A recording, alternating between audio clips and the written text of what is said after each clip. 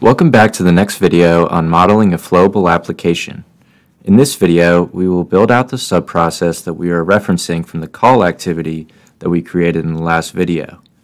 A separate instance of this process will be created for each evaluation in our evaluations array.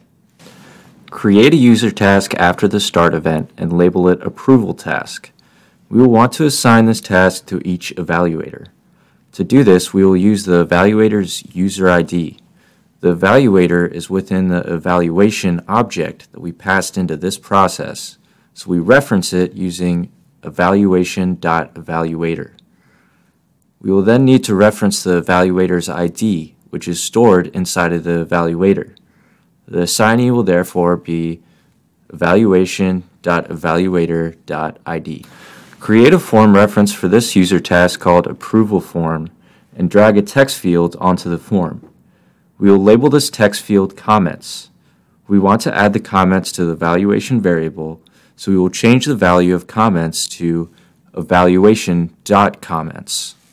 Note that when referencing a variable in a form, the double curly brackets notation is used.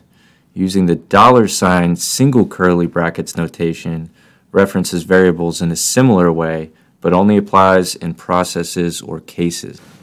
Additionally, we will want to store an approval Boolean variable in the evaluation object.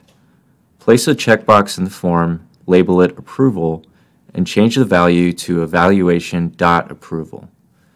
Finally, drag an end event after the task to complete the subprocess. Now, after the evaluator fills out this form, the evaluation object will now have the comments and approval variables stored inside in addition to the evaluator object that was already stored there. Save, publish, and go to Flowable Engage so we can see this in action.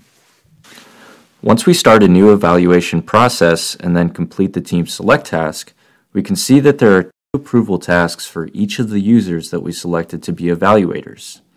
Also, if we look under the Sub-Items tab, we can see the two individual evaluation processes that were created. Another good way to get an idea of which processes are running is to go to Flowable Inspect and look at the execution tree on the left.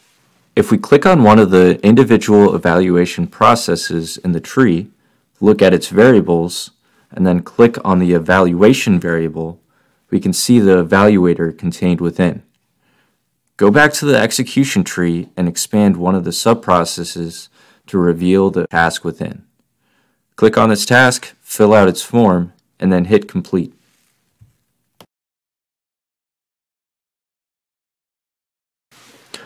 Looking at Flowable Inspect in this subprocess, click on Evaluation and note that the approval and comments variables have been added to the evaluation object. We can also see the root variables which belong to the parent evaluation process. Note that if we look at the evaluations object, we can see that the approval and comments have not yet been passed from the child evaluation object to the parent evaluations object.